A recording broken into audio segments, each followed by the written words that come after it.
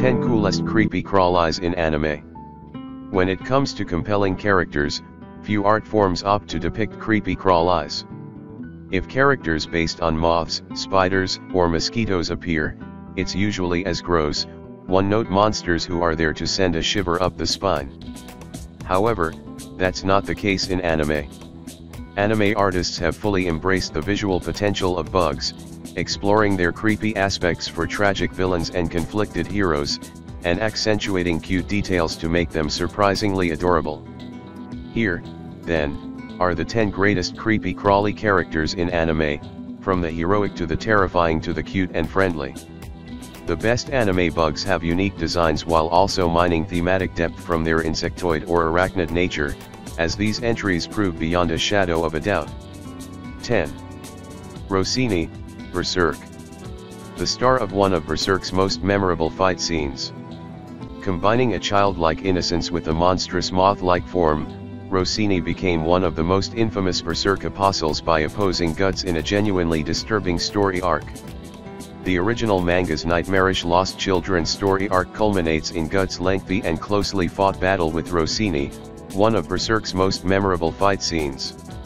Despite Rosine's childlike personality, she proves a tenacious opponent to Guts.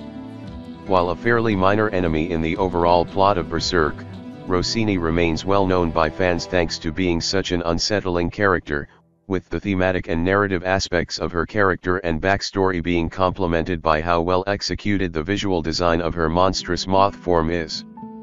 Kumonga is one of the most interesting reimaginings of the classic kaiju scene in Singular Point. Combining the design of the spider Kumonga, the drill-handed beetle Megalon, the mantis Kamacuras, and cult classic kaiju Gigan, with each one's exoskeleton apparently housing a version of the smog monster Hedorah, the singular point version of Kumonga is a love letter to some of the lesser-known kaiju of the Godzilla franchise. Like all of the kaiju in Singular Point, Kumonga is depicted as significantly smaller in size than in previous depictions. The hero's excursion to a webbed-up boathouse overrun by a swarm of Kumonga feels more like something out of a horror movie than a typical kaiju movie, and yet that only makes the creature feel more insectoid and terrifying.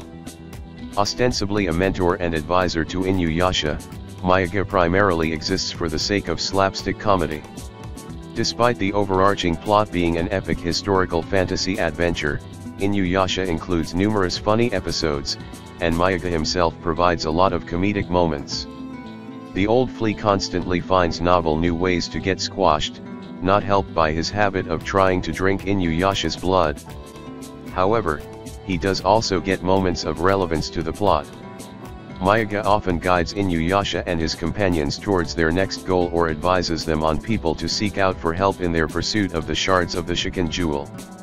Most significantly, he has saved the lives of the main cast by sucking poison out of their blood.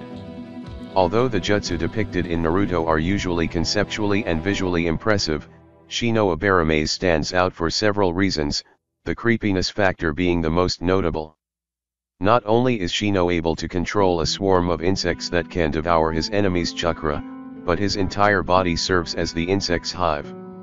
Although Shino even creeps out his allies, he is solidly on the side of good and is consistently depicted as effective and powerful.